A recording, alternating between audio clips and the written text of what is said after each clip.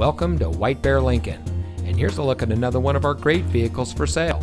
It comes equipped with navigation, keyless entry, cruise control, CD player, heated side mirrors, power door locks, tilt steering wheel, rear defroster, power passenger seat, and has less than 5,000 miles on the odometer. Since 1978, family owned White Bear Lincoln has been providing our friends and neighbors with the best purchasing experience around.